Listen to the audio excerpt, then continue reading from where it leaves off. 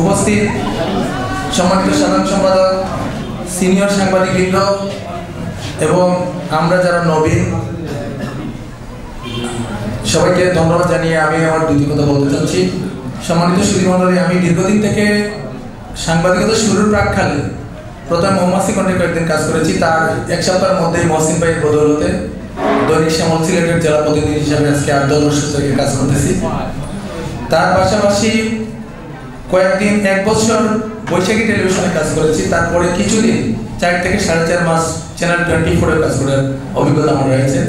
এর পরবর্তী থেকে এশিয়ান টিভি অনেয়ার আসার সাথে সাথে, অর্থাৎ অনেক অনেয়ার আসার আগ থেকেই আমি এশিয়ান টেলিভিশনে যোগদান করি এবং অদ্যাবধি সেখানে আপনাদের দোয়ায় আমি মনে করি সফলতার সাথে কাজ করে যাচ্ছি।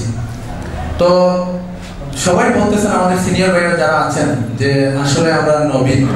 অনেক প্রেস ক্লাবের সদস্য হওয়াটা খুব টাফ ব্যাপার সটা কাজেই কখন থেকে সাংবাদিকতা শুরু হচ্ছে সেটা বড় কথা নয়।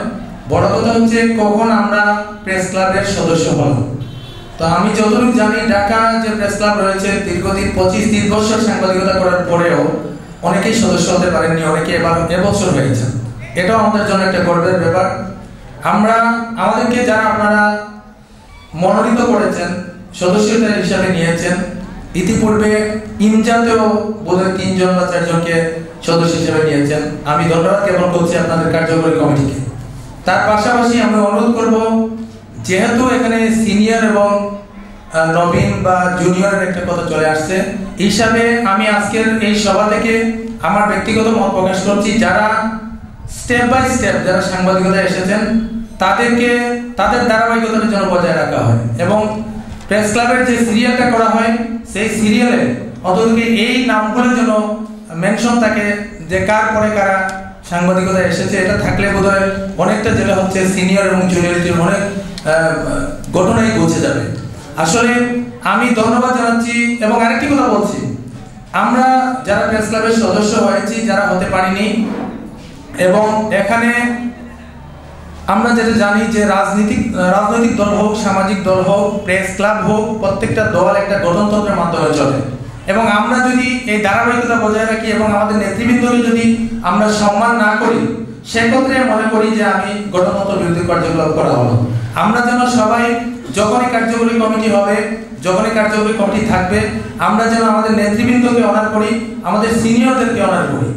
এই ধারাবাহিকতা যদি বজায় থাকবে, আমরা কিন্তু সবাই বলে যে সাংবাদিকরা জাতির বিবেক। এবং আমাদের মধ্যে যদি এই ধারাবাহিকতা বজায় না থাকে, তাহলে পাবলিক তো সাধারণ পাবলিকরা কি করবে? তাই আমি অনুরোধ করব, আমরা যারা, আমাদের নেতৃবৃন্দ যারা হবেন, যারা আছেন, তাদের কাছে আমাদের বিনীত অনুরোধ, আপনারা এমন ব্যবহার করবেন যাতে থেকে আগামীতে আমরা আপনাদের কাছ থেকে শিখতে পারি। পরিশেষে আবারও সবাইকে ধন্যবাদ জানিয়ে এবং একটি কথা এখানে বলা হয়েছে সেক্রেটারি মহোদয় বক্তব্য বলেছেন যে, আমরা যা কিছুই করি না কেন, আমাদের এই ধারাবাহিকতা এবং ঐতিহ্য যেন বজায় থাকে।